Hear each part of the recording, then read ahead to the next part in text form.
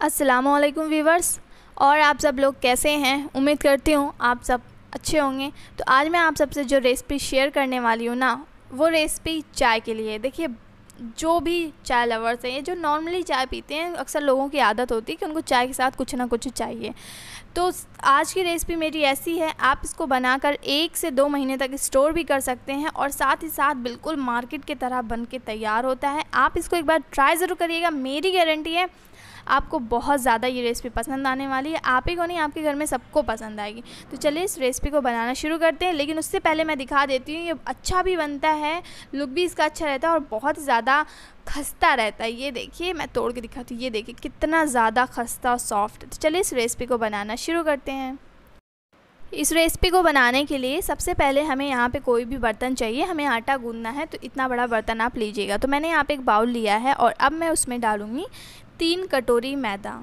मैदे से ही देखिए बाज़ार के आप जितने भी मठरियाँ वगैरह लाते हैं सब बनते हैं और लगता नहीं है लेकिन टेस्ट बहुत ही ज़्यादा अच्छा होता है। तो आ, मैंने तीन कटोरी यहाँ पे मैदा लिया है अब डालूँगी इसमें मैं स्वाद के अनुसार नमक और इसका बहुत ही ज़्यादा मतलब मार्केट वाला फ्लेवर देने के लिए मैं इसमें डाल रही हूँ थोड़ा सा कसूरी मेथी। कसूरी मेथी हो आपके पास, आप तभी डालें, वरना परेशान होने की ज़रूरत नहीं है, ना डालें। और अब मैं डालूँगी इसमें आजवाइन आजवाइन तो सबके घर में अवेलेबल होती है तो ये भी मैं डाल दूँगी आधा छोटा चम्मच। दोनों मैंने क्रश करके डाल दिया है। अब क्या करना है, सबसे पहले हम इसको अच्छी तरीके से मिक्स कर लेंगे।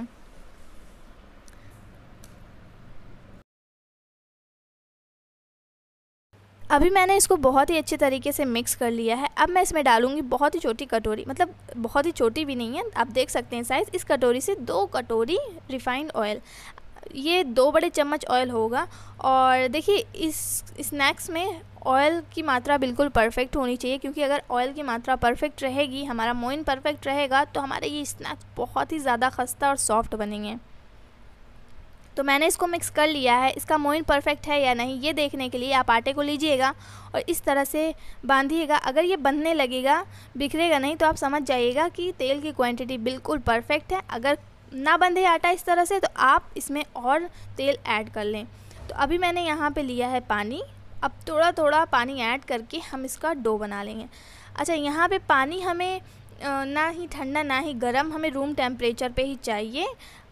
और अब हम इसमें थोड़ा ही थोड़ा पानी ऐड करेंगे। हमें डो को बहुत हार्ड या बहुत ज़्यादा सॉफ्ट नहीं रखना है।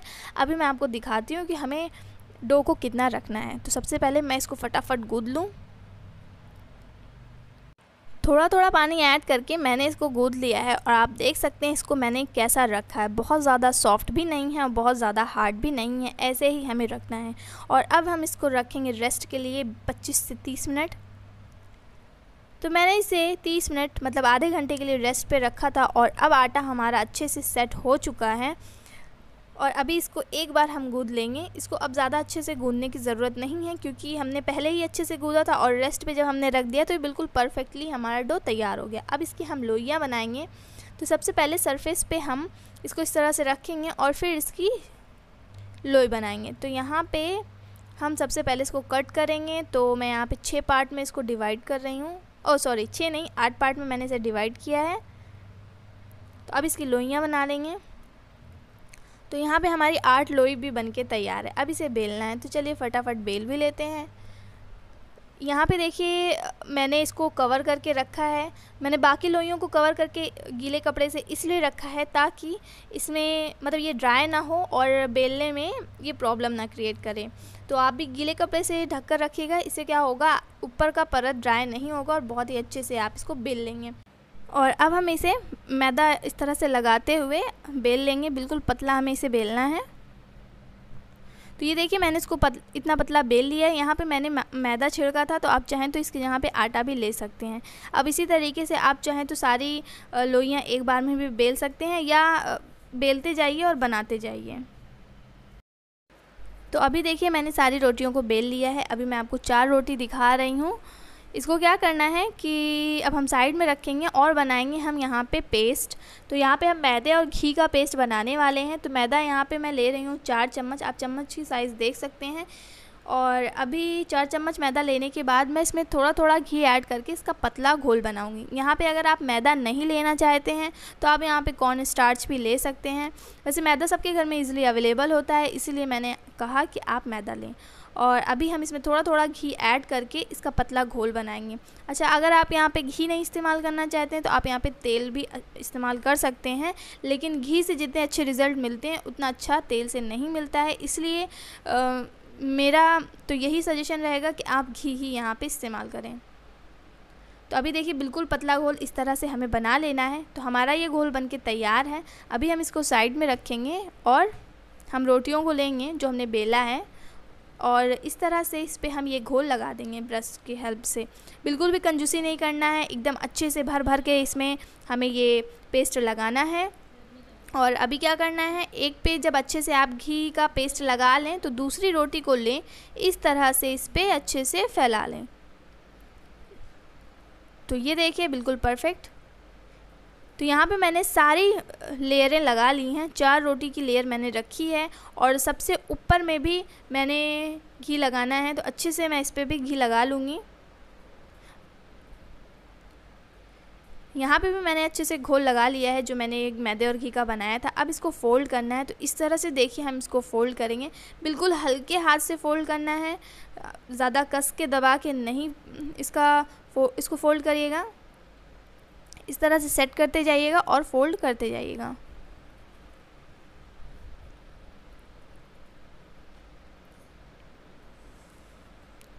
तो अभी देखिए मैंने इसको फ़ोल्ड कर लिया है और अब बिल्कुल हल्के हाथ से पहले हम इसको हल्का हल्का बिल्कुल इस तरह से दबाएँगे। हमें इसे बढ़ाना नहीं है, बस इसे इतना प्रेस करना है कि परतें थोड़ा सा इसमें चिपक जाएँ और ये एकदम ही ना खुल जाएँ।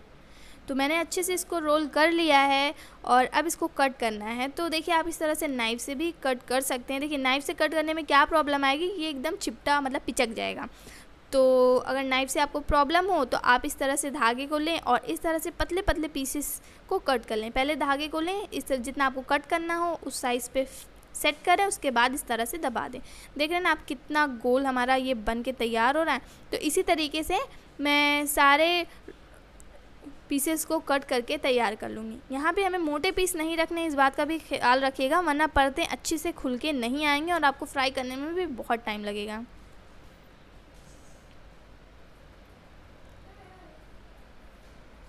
तो देखिए, मैंने सारे पीसेस को कट कर लिया है और मैंने सारे पीसेस धागे से ही कट किए हैं। आप देख सकते हैं कितने गोल ये हमारे बनके तैयार हुए हैं।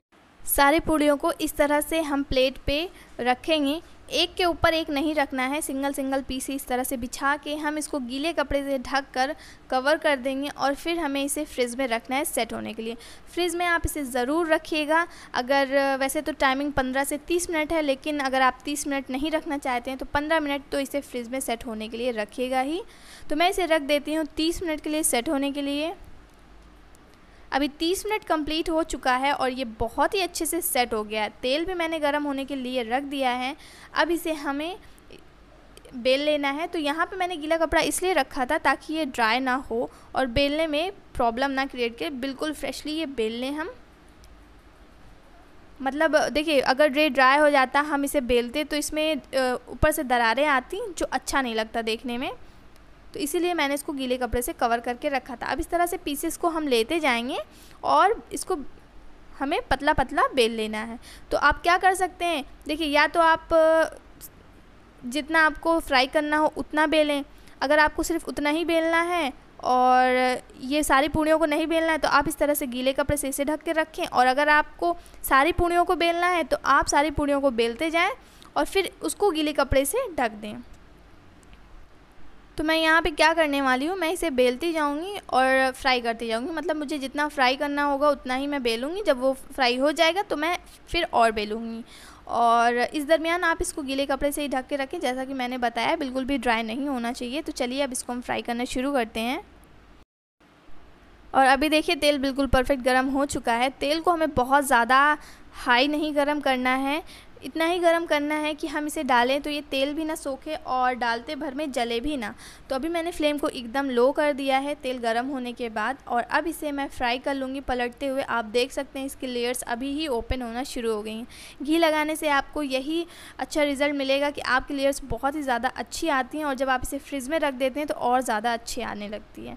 तो अभी मैं इसको गोल्डन होने तक एकदम लो फ्लेम पे फ्राई कर लूँगी। आप अपने हिसाब से फ्लेम को एडजस्ट कर सकते हैं। तो अभी मैंने फ्राई कर लिया है, आप देख सकते हैं, बहुत ही ज़्यादा गोल्डन क्रिस्पी ये देखने में ही ऐसा लग रहा है, बहुत ही ज़्यादा लेयर्स इसमें आ चुकी हैं। अब इसी तरीके से मैं इसको टिश्यू पेपर पर रखती जाऊँगी, ताकि इसका जितना भी ऑयल हो, ये टिश्यू पेपर ऑब्जॉर्ब कर ले और बचे हुए पीसेस को भी मैं फ्राई कर लूँगी। फ्लेम का आपको खास ख्याल रखना है, यहाँ पे फ्लेम आपको एकदम लो ही रखनी है, तेल एक बार गर्म हो जाने के बाद।